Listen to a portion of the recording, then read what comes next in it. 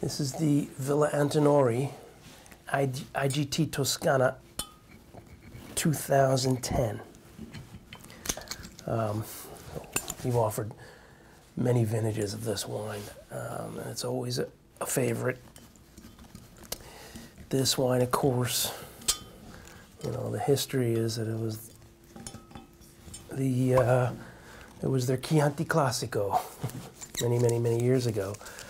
Um, Antinori, always forward thinking, uh, they wanted to use more international grapes. Um, and as this wine is today, it's 55% uh, Sangiovese, 25% Cabernet, um, 10% Merlot, 5% Syrah. So uh, you weren't allowed to do that and call it Chianti.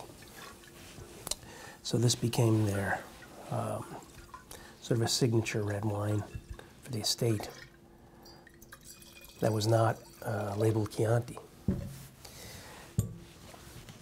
But, uh, you know, some of the best grapes on the estate still go into this wine.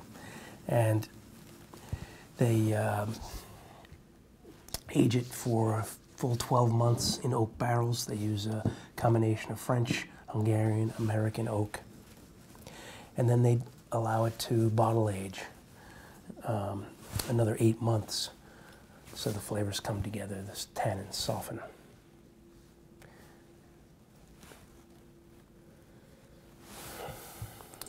And the nose is so pretty. It's very sort of uh, light red cherry notes. Little hints of vanilla on there.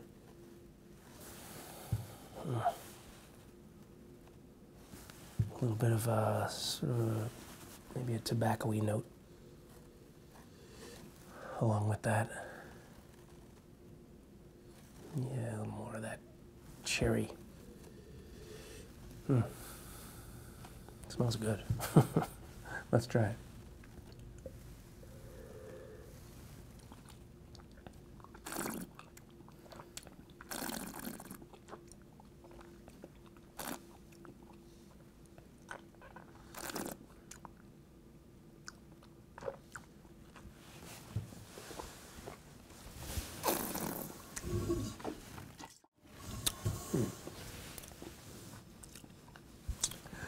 Um, it's really coming across as very forward on the palate. Nice flavors. Those cherry notes really coming through. Um, and then on the mid palate, turns more kind of uh, vanilla, dark chocolate. Um, some of those sort of uh, tobacco-y, cedary notes also coming up there. But um, you know that bottle age really gives the gives the wine a chance to settle down soften, let those flavors come out. Um, always a terrific wine. And you don't have to match it up with anything fancy. You can eat this with, you can drink this with, you know, everyday food. Burgers, pasta.